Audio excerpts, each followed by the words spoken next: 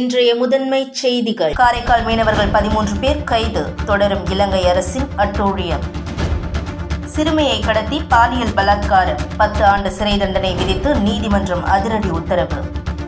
மறைந்த தமிழக முதல்வர் ஜெயலலிதா பிறந்தநாள் விழா. புதுச்சேரி அதிமுகவினர் நலத்திட்ட உதவிகள் செய்து கொண்டாட்டம். இனி விரிவான செய்தி. காரைக்கால் மீனவர்கள் பதிமூன்று பேரை எல்லை தாண்டி மீன்பிடித்ததாக இலங்கை கடற்படையினர் கைது செய்துள்ளனர். காரைக்கால் மாவட்டம் கோட்டுச்சேரிமேடு கிராமத்தைச் சேர்ந்த வீரமணி என்பவருக்கு சொந்தமான விசைப்படகில் செல்வமணி ரமேஷ் திலீபன் சுரேஷ் உள்ளிட்ட பதிமூன்று பேர் காரைக்கால் மீன்பிடி துறைமுகத்திலிருந்து கடந்த புதன்கிழமை மீன்பிடிக்க கடலுக்கு சென்றனர். இவர்கள் ஆழ்கடலில் மீன்பிடித்துக் கொண்டிருந்த போது எல்லை தாண்டியதாக அங்கு வந்த இலங்கை கடற்படையினர் மீனவர்கள் பதிமூன்று பேரையும் கைது செய்து அழைத்துச் சென்றனர். இவர்கள் இலங்கை மயிலட்டி துறைமுகத்துக்கு கொண்டு செல்லப்பட்டதாக காரைக்கால் மீனவ கிராம பஞ்சாயத்தினருக்கு தகவல் கிடைத்தது. இதுகுறித்து கிராம பஞ்சாயத்தார்கள் காரைக்கால் மீன்வளத்துறைக்கு தகவல் தெரிவித்தனர். கடந்த ஜனவரி மாதம் முப்பத்தோராம் தேதி கோட்டுச்சேரிமேடு பகுதியைச் சேர்ந்த ஒன்பது மீனவர்கள் இலங்கை கடற்படையினரால் கைது செய்யப்பட்ட சம்பவத்தை அடுத்து சில வாரங்களில் மீண்டும் பதிமூன்று பேர் கைது செய்யப்பட்டிருப்பது குறிப்பிடத்தக்கது. புதுச்சேரியில் சிறுமியை கடத்தி சென்று பாலியல் பலாத்காரம் செய்த வாலிபருக்கு பத்து ஆண்டுகள் சிறை தண்டனை விதித்து புதுச்சேரி நீதிமன்றம் தீர்ப்பளித்துள்ளது. புதுச்சேரி திருபுவனை பகுதியைச் சேர்ந்த பதினைந்து வயது சிறுமியை கடந்த இரண்டாயிரத்து பதினெட்டாம் ஆண்டு திருபுவனை பகுதியைச் சேர்ந்த செப்டிக் டேங்க் தூய்மை செய்யும் தொழிலாளி மணிகண்டன் என்பவர் கத்தியை காட்டி கடத்திச் சென்றுள்ளார். இதுகுறித்து சிறுமியின் பெற்றோர் திருபுவனை காவல் நிலையத்தில் அளித்த புகாரின் பேரில் போலீசார் போக்சோ பிரிவின் கீழ் வழக்கு பதிவு செய்து மூன்று நாட்களுக்கு பின்னர் சிறுமியை மீட்டு அவரை கடத்திச் சென்ற மணிகண்டனை கைது செய்து விசாரணை நடத்தியதில் அவர் சிறுமியை சென்னை விழுப்புரம் உள்ளிட்ட இடங்களுக்கு அழைத்துச் சென்று பாலியல் பலாத்காரம் செய்து தெரிய வந்ததை அடுத்து போலீசார் அவரை சிறையில் அடைத்தனர். இது தொடர்பான வழக்கு கடந்த மூன்றரை ஆண்டுகளாக புதுச்சேரி போக்சோ நீதிமன்றத்தில் நடைபெற்று வந்த நிலையில் இன்று இறுதி வாதங்கள் நடைபெற்றன. அப்போது சிறுமியின் தந்தையை கொலை செய்து விடுவேன் என மணிகண்டன் கூறி சிறுமியை கடத்தி பாலியல் பலாத்காரம் செய்ததாக சிறுமி வாக்குமூலம் அளித்ததை அடுத்து தலைமை நீதிபதி செல்வநாதன் இவ்வழக்கில் குற்றம் சாட்டப்பட்ட மணிகண்டனுக்கு பத்தாண்டுகள் கடுங்காவல் தண்டனையும் பாதிக்கப்பட்ட சிறுமிக்கு மாநில அரசு ரூபாய் நான்கு லட்சம் நிவாரண உதவி வழங்க வேண்டும் எனவும் தீர்ப்பு வழங்கியுள்ளது. மறைந்த தமிழக முன்னாள் முதல்வர் ஜெயலலிதாவின் பிறந்த நாளையொட்டி புதுச்சேரி கிழக்கு மாநில அதிமுக சார்பில் பொதுமக்களுக்கு தையல் இயந்திரம் உள்ளிட்ட பல்வேறு நலத்திட்ட உதவிகள் வழங்கப்பட்டன. மறைந்த தமிழக முன்னாள் முதல்வர் ஜெயலலிதாவின் எழுபத்து நான்காவது பிறந்தநாள் விழா புதுச்சேரி கிழக்கு மாநில அதிமுக சார்பில் கொண்டாடப்பட்டது. இதனையொட்டி உப்பளத்தில் உள்ள தலைமை அலுவலகத்தில் மலர்களால் அலங்கரித்து வைக்கப்பட்டிருந்த ஜெயலலிதாவின் உருவப்படத்திற்கு கிழக்கு மாநில செயலாளர் அன்பழகன் தலைமையில் அதிமுகவினர் மலர் தூவி மரியாதை செலுத்தினர்.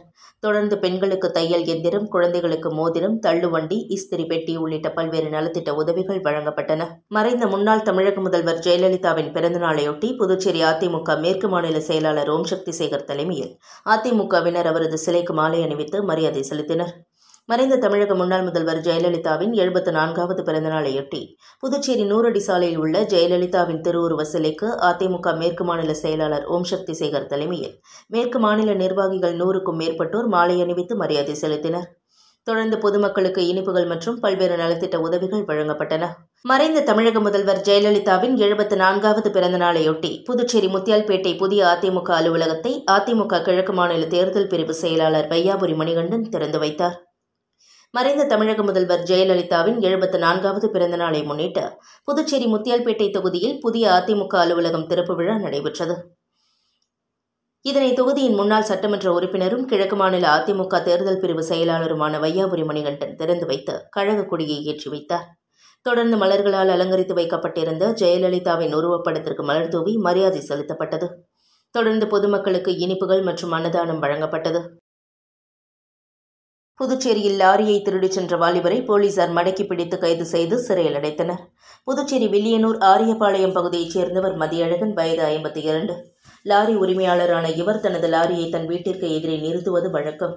இந்நிலையில் நேற்று இரவு வழக்கம் போல் லாரியை நிறுத்திவிட்டு வீட்டிற்குள் சென்றுவிட்டு சிறிது நேரத்தில் வந்து பார்த்தபோது லாரி திருடு போயிருப்பதைக் கண்டு அதிர்ச்சியடைந்த மதியழகன் இதுகுறித்து வில்லியனூர் காவல் நிலையத்தில் அளித்த புகாரின் பேரில் போலீசார் வழக்கு பதிவு செய்து புதுச்சேரி எல்லைகள் மற்றும் லாரிகள் நிறுத்த முனையத்தில் தீவிர கண்காணிப்பில் ஈடுபட்டனர். அப்போது மேட்டுப்பாளையம் லாரி நிறுத்த முனையத்திற்கு வந்த மதியழகன் லாரியை மடக்கி பிடித்து அதனை திருடிச் சென்ற வாலிபரை கைது செய்து விசாரணை மேற்கொண்டதில் அவர் வில்லியனூர் கணுவாப்பேட்டையைச் சேர்ந்த கலை என்கிற விஜயகுமார் வயது இருபது என்பதும் லாரியை திருடி விற்பனை செய்ய திட்டமிட்டதாகவும் அதற்காக தான் லாரி முனையத்திற்கு வந்ததும் தெரிய வந்தது. இதனையடுத்து கைது செய்யப்பட்ட கலையை போலீசார் நீதிமன்றத்தில் ஆஜர்படுத்தி சிறையில் அடைத்தனர்.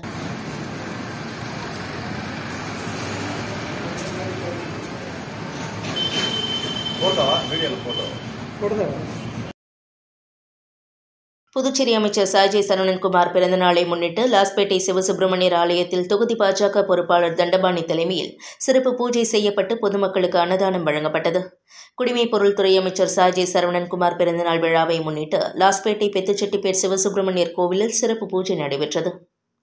தொகுதி பொறுப்பாளர் தண்டபாணி தலைமையில் நடைபெற்ற நிகழ்ச்சியில் அமைச்சர் சாய்ஜே சரவணன்குமார் பாஜக மாநில தலைவர் சுவாமிநாதன் கலந்து கொண்டு சுவாமி தரிசனம் செய்து பொதுமக்களுக்கு அன்னதானம் வழங்கினர். விழாவில் மாநில நிர்வாகிகள் தொகுதி நிர்வாகிகள் மகளிர் அணியினர் உட்பட பலர் கலந்து கொண்டனர்.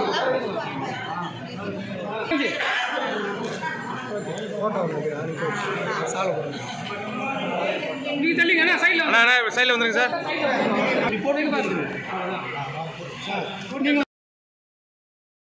புதுச்சேரி உப்பளம் ராஜீவ்காந்தி உள்விளையாட்டு அரங்கில் நடைபெற்ற ஆணழகன் போட்டி பார்வையாளர்களை வெகுவாக கவர்ந்தது. இதில் வெற்றி பெற்றவர்களுக்கு பரிசு மற்றும் சான்றிதழ்களை அமைச்சர்கள் சட்டமன்ற உறுப்பினர்கள் வழங்கி பாராட்டினர். Indian body builders association Puducherry body builders மற்றும் ஃபிட்னஸ் இணைந்து பனிரெண்டாவது ஜூனியர் மிஸ்டர் இந்தியா இரண்டாயிரத்தி இருபத்தி இரண்டு ஆணழகன் போட்டி உப்பளம் ராஜீவ்காந்தி உள்விளையாட்டு மைதானத்தில் நடைபெற்றது. இதில் ஜூனியர் பாடி பில்டர் பிரிவு மாஸ்டர் பிரிவு மாற்றுத்திறனாளிகள் பிரிவு பெண்கள் பிரிவு என பல்வேறு பிரிவுகளில் போட்டிகள் நடைபெற்றன. இதில் தமிழ்நாடு புதுச்சேரி உள்ளிட்ட பல்வேறு மாநிலங்களைச் சேர்ந்த பன்னிரண்டு வீராங்கனைகள் உட்பட இருநூற்றி ஐம்பத்தி இரண்டு வீரர்கள் கலந்து கொண்டனர். போட்டியில் கலந்து கொண்டவர்கள் தங்களது உடல் அமைப்புக்கு ஏற்றவாறு தனித்திறமைகளை வெளிப்படுத்தினர். இது பார்வையாளர்களை வெகுவாக கவர்ந்தது.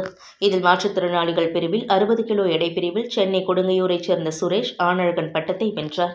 இதேபோல் பல்வேறு பிரிவில் ஆணர்கள் பட்டத்தை வென்றவர்களுக்கு பதக்கங்கள் சான்றிதழ்களை அமைச்சர்கள் நமச்சிவாயம் தேனி ஜெயக்குமார் ஆகியோர் வழங்கினர்.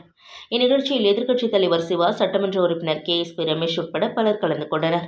இதற்கான ஏற்பாடுகளை புதுச்சேரி பாடி பில்டர்ஸ் மற்றும் ஃபிட்னஸ் சேர்மன் ராஜேஷ்குமார் தலைவர் கணேஷ் செயலாளர் முகுந்தன் மற்றும் நிர்வாகிகள் விக்டர் ஜெகநாதன் பழனி ராமச்சந்திரமூர்த்தி பழனிவேல் ஆகியோர் செய்திருந்தனர். Champion of the category, 75.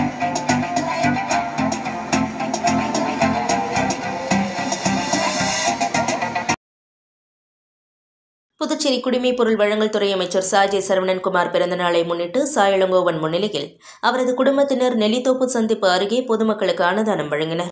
Puducherry குடிமைப் பொருள் வழங்கல் துறை அமைச்சர் சாஜே சரவணன்குமார் பிறந்தநாள் விழா நெல்லித்தோப்பு சந்திப்பு அருகே கொண்டாடப்பட்டது. புதுச்சேரி முழுவதும் தொடர்ந்து பல்வேறு சமூக பணி மாணவர்களுக்கு கல்வி பயில உதவி இறைப்பணி செய்து ஏழை எளிய மக்களுக்கு நலத்திட்ட உதவிகள் செய்து வரும் அமைச்சரின் மூத்த சகோதரரும் சாயலங்கோவன் அறக்கட்டளை நிறுவனருமான சாயலங்கோவன் முன்னிலையில் அவரது குடும்பத்தினர் மற்றும் அமைச்சரின் ஆதரவாளர்கள் பொதுமக்களுக்கு அறுசுவை உணவு வழங்கினர். மேலும் இவ்விழாவில் ஞானம் தன்ராஜ் ராகவன் துரை செல்வராஜ் சண்முகம் பிரகாஷ் உட்பட பலர் கலந்து கொண்டனர்.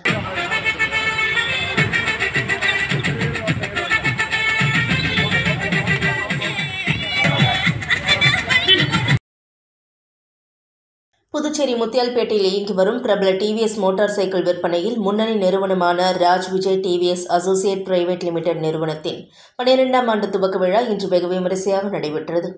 இவ்விழாவில் சிறப்பு அழைப்பாளராக அரசு கொறடா ஆறுமுகம் கலந்து கொண்டு குத்துவிளக்கேற்று விழாவை தொடங்கி வைத்தார். இதனைத் தொடர்ந்து நிர்வாக இயக்குநர்கள் அருண்குமார் ருத்ரகுமார் சீனிவாசமூர்த்தி விளக்கேற்றி சிறப்பு விருந்தினரை கௌரவித்தனர். மேலும் இவ்விழாவினை சிறப்பிக்க சிறப்பு அழைப்பாளர்களாக டிவிஎஸ் மோட்டார்ஸ் நிறுவனத்தின் தமிழக பகுதி விற்பனை மேலாளர் திரு மகேஷ்குமார் பிரதேச விற்பனை மேலாளர் பிரதீப் பிரதேச சர்வீஸ் மேலாளர் பவன்குமார் பிரதேச சர்வீஸ் பொறியாளர் கோகுல் மற்றும் டிவிஎஸ் கடன் பிரிவு மேலாளர்கள் சக்திவேல் மோகன் புரட்சிக்கணல் மற்றும் ஊழியர்கள் அனைவரும் கலந்து கொண்டனர். விழாவின் இறுதியில் சிறப்பு விருந்தினர் சட்டமன்ற உறுப்பினர் ஆறுமுகம் சிறப்பு உரையாற்றி விழாவிற்கு வருகை தந்த விருந்தினர்களுக்கும் சிறப்பாக செயல்பட்ட ஊழியர்களுக்கும் பொன்னாடை அணிவித்து நினைவு பரிசும் இதர ஊழியர்களுக்கு ஊக்கப்பரிசும் வழங்கி கௌரவித்தார். நிர்வாக இயக்குநர் ருத்ரகுமார் கடந்த பதினோரு ஆண்டுகால அனுபவத்தை தங்களின் ஊழியர்களிடமும் அவையோரிடமும் பகிர்ந்து கொண்டனர். ராஜா நன்றியுரை கூறினார்.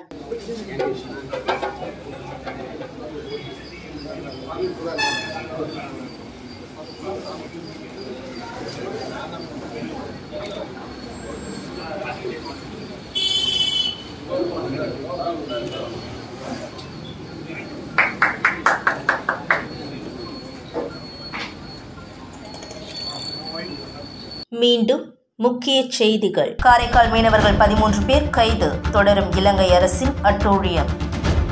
சிறுமியை கடத்தி பாலியல் பலாத்காரம். பத்து ஆண்டு சிறை தண்டனை விதித்து நீதிமன்றம் அதிரடி உத்தரவு. மறைந்த தமிழக முதல்வர் ஜெயலலிதா பிறந்தநாள் விழா. புதுச்சேரி அதிமுகவினர் நலத்திட்ட உதவிகள் செய்து கொண்டாட்டம். இத்துடன் சில்வர் சாட் செய்திகள் நிறைவு பெற்றன. வணக்கம்.